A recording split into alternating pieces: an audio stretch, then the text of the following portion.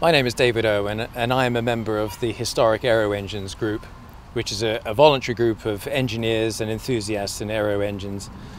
And we're here today at RAF Museum London to display this Rolls-Royce Merlin aero engine. This engine was built in uh, June 1943 as a Mark 22 Merlin and would most probably have been installed on a Mark 1 Lancaster bomber.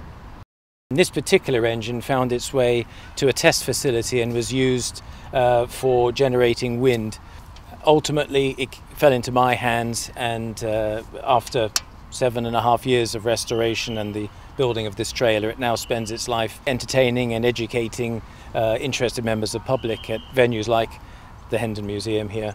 Um, and uh, is doing what it does best, produces a spectacular sound and wind and a lot of interest from the visiting public. To start the Merlin uh, is a matter of a, a few controls that happen in sequence. The first thing I will do is switch on the fuel. So the fuel is now available to flow into the carburetor. Next thing I will do will be to unscrew the Ki-Gass priming pump and withdraw the cylinder. And I'll use this for priming the engine whilst it's cranking.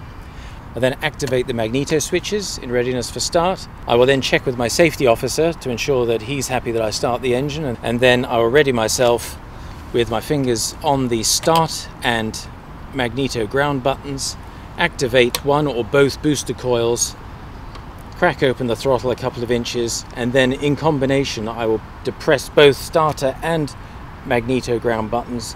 So the engine will now be cranking and I will be pumping a couple of strokes on the Ki-Gass pump to prime the engine and when the engine fires I will then take my one finger off the magneto ground button, so now the magneto is alive, and the engine should now start.